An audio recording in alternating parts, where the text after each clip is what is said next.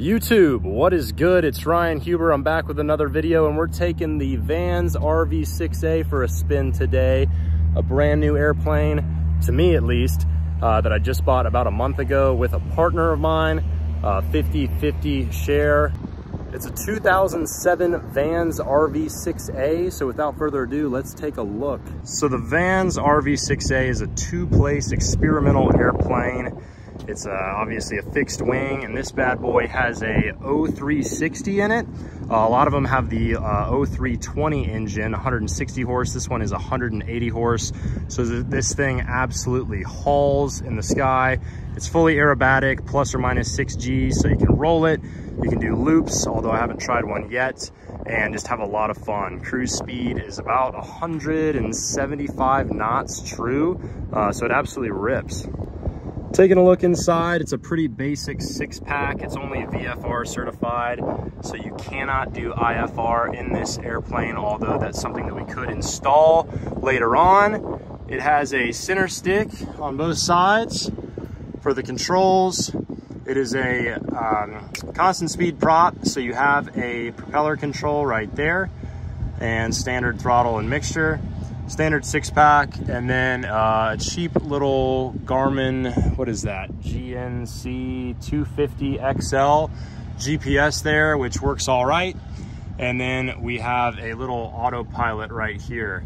Uh, so that's pretty nice. When you do these cross countries I'm going to Atlanta today there is an autopilot. So we're going to put our bags in this bad boy and give her a rip up to Atlanta. I'm headed home for the holidays Excited to see some family for Christmas and I'll see you guys on the takeoff roll. All right, guys, we're holding short of runway 34 here at Lantana Airport, just south of West Palm Beach. We're about to depart here.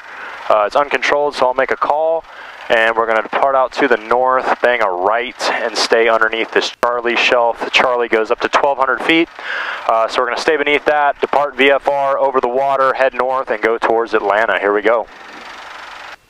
Lantana traffic experimental 292 Delta Charlie, uh, departing runway 34, Lantana.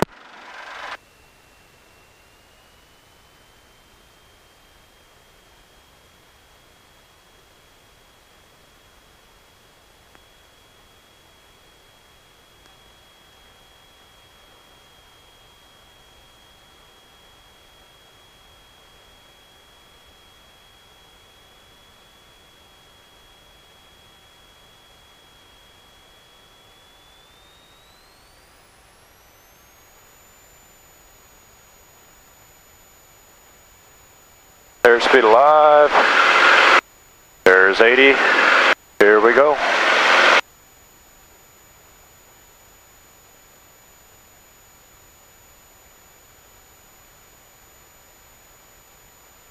A little airspeed here. Come on, 253 down to Bravo, 10 miles south of the field, flying eastbound into the shoreline north, and then straight at 34, land 10.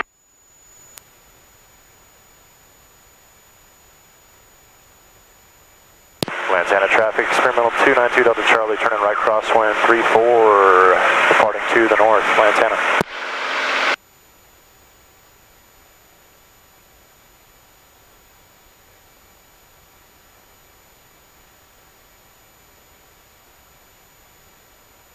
All right, little bumpy, 1,000 feet, headed eastbound.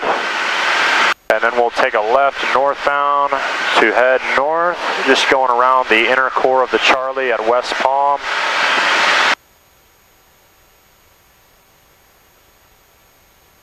I go 22 on the manifold, 2500 RPMs. Mixture's leaned a little bit, boost pump is off. Taxi landing light are off. We'll leave the rest on. Lantana traffic, 7273 Mike, departing runway 34, staying left close traffic pattern. Suit pilot Lantana.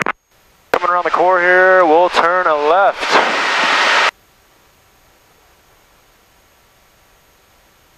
And I will get up to altitude to see you guys in a bit, and we'll do a little Q&A from Instagram.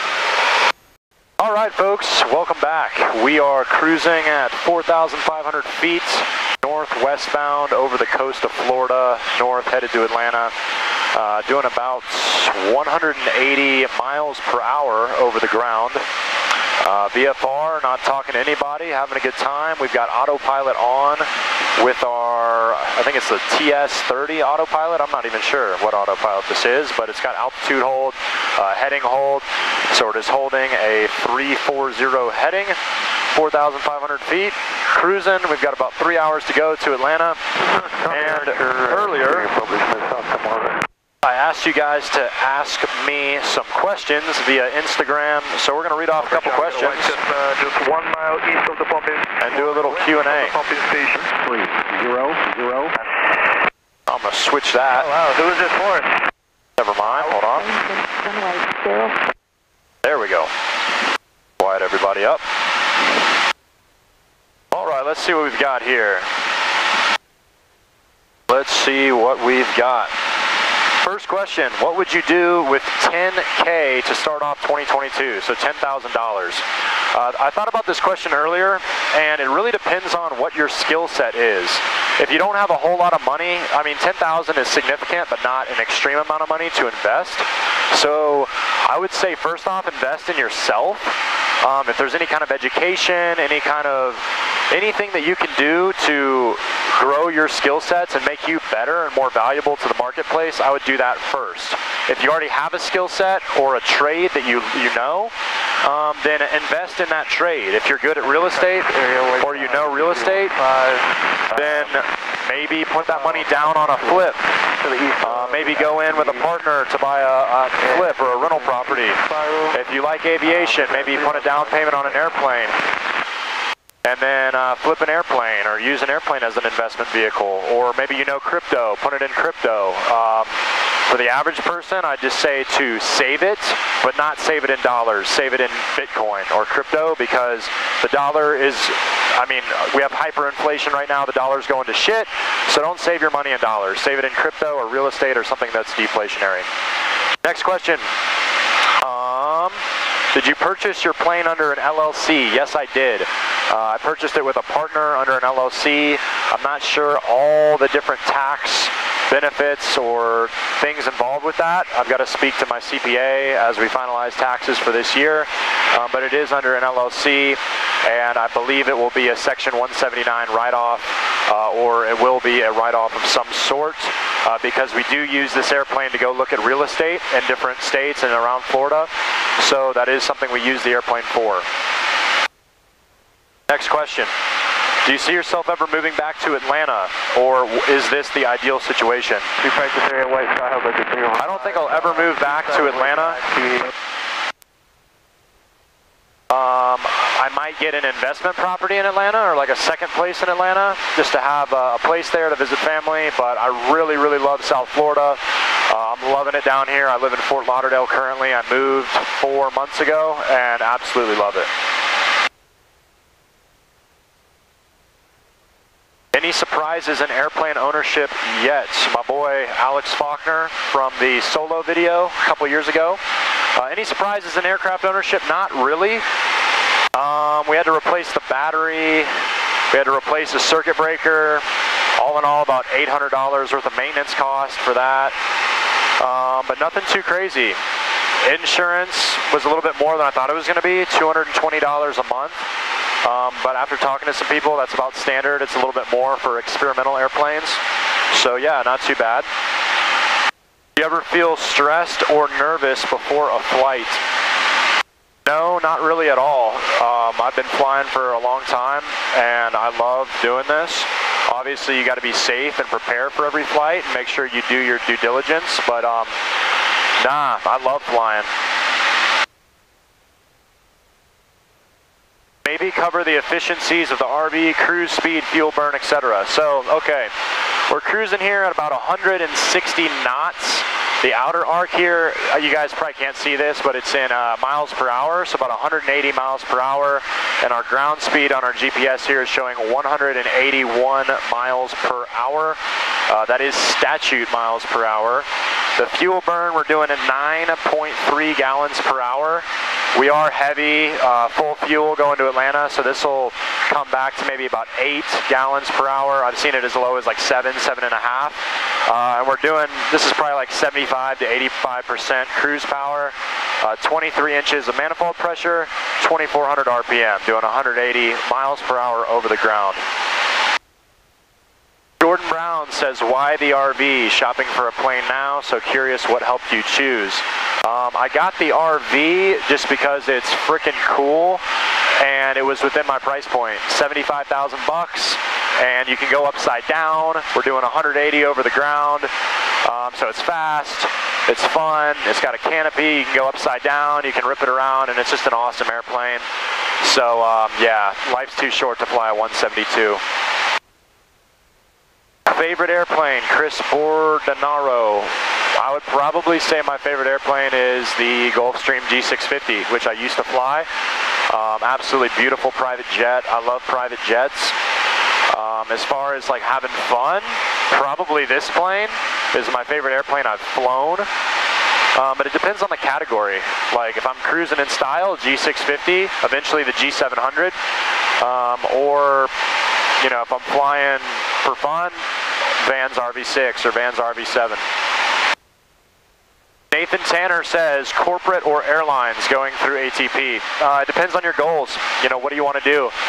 For me, it was always corporate. I never wanted to go to the airlines. For me, in the airlines, you're just a number in a system and you do the same thing every day. I wanted to fly rich and famous people around in private jets and have a new destination every time. Uh, cool spots, cool experiences, and uh, more volatility and excitement. Um, but that just depends on you know what you want to do and your goals. Airlines are more stable, a better career, um, but I think corporate is way more fun. So depends on you, but both options are good. And I think that's all I got off Instagram so far. So yeah, we're cruising here over the water, or not over the water, but over the shoreline. Um, I hope you guys like the content of this video, and I will see you guys in Atlanta and film the landing. I'll see you then.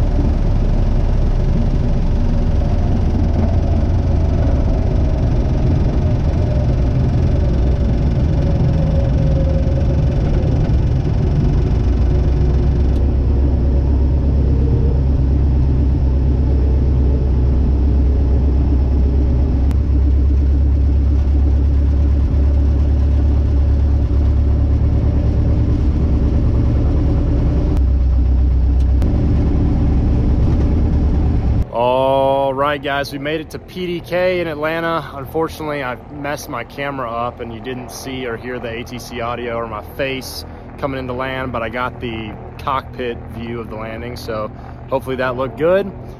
Made it just in time for sunset. I'm about to go take my dad for a spin. Dad, what's up? Hey, bud. Welcome to Atlanta. Yes, sir. Yes, sir. Merry Christmas, everybody. And uh, yeah, we're gonna go for a quick little flight and I'll see you guys in the next video. Hope you guys enjoyed. See ya.